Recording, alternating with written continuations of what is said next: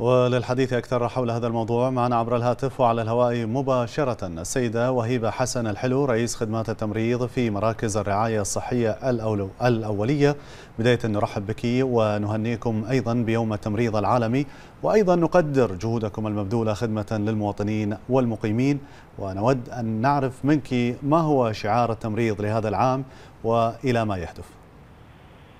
مساء الخير مساء الخير أخواني أرحب فيكم وبجميع المشاهدين وشكرا على التهنئة الحلوة وطبعا شعار التمريض آه، إحنا دائما نحتفل إلى جانب دول العالم في الثاني عشر من مايو من كل عام بيوم التمريض العالمي حيث يهدف هذا اليوم إلى أبراز الجهود والإسهامات والمبادرات النبيلة التي تقوم بها طواقم التمريض في خدمة جميع المرضى وكافة أفراد المجتمع. ويأتي الاحتفال هذا العام تحت شعار ممرضينا مستقبلنا. يجسد مدى الاهتمام والرعاية التي يحظى بها هذا الكادر التمريضي والدور الهام الذي يقوم به تجاه العمل على توفير الرعاية التمريضية الشاملة للجميع. كما يبرز الاهتمام بالاستثمار في قطاع التمريض من أجل من من أجل بناء وتعزيز قدرات القوى العاملة المؤهلة في مجالات التمريض وحماية حقوقهم من أجل تحقيق الارتقاء بالأنظمة الصحية. فهذا هو شعار نعم. هذا العام. سيدة وهيبة بلا شك قطاع التمريض قطاع حيوي ومهم في المجتمعات. كافة هل لك أن تطلعين على أبرز جهودكم أنتم في وزارة الصحة في تطوير هذا القطاع؟ طبعا نحن نسعى دائما مع شركائنا في جميع القطاعات الحكومية والخاصة على مملكة البحرين إلى وضع الاستراتيجيات الطموحة والهادفة إلى رفع مستوى مهنتي التمريض والقبالة وتعزيز قدراتهم وكفاءاتهم وتعزيز آه، قدرات الكوادر التمريضية. لتمكينهم من تقديم رعاية تمريضية ذات جودة عالية تتماشى مع تطلعات وطموحات وتلقي الخدمة طبعا.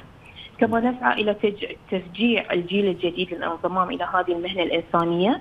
ولله الحمد يدارنا في قطاع المراكز آه، مراكز الرعاية الصحية الأولية إلى بحرنة معظم الوظائف التمريضية حيث وصلت نسبة البحرنة في المراكز الصحية إلى 84% ونطمح إن شاء الله إلى زياده هذه النسبة في الأعوام القادمة إن شاء الله. نعم، السيده وهيبة كونك أنت رئيسة لخدمات التمريض في مراكز الرعاية الأولية، ما هي طموحاتكم المستقبلية كعاملين في هذا المجال للتطور؟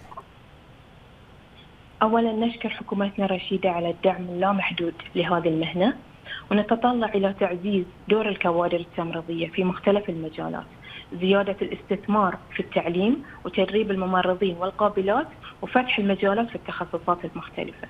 لنتماشى مع التغيرات والتطورات الصحية الحاصلة في المجال الصحي في مملكة البحرين.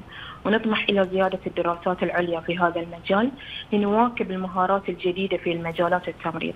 وطبعا أخيرا أهنئ جميع أخواني وخواتي الممرضين على هذه الأرض الطيبة وكل عام وملائكة الرحمة بخير.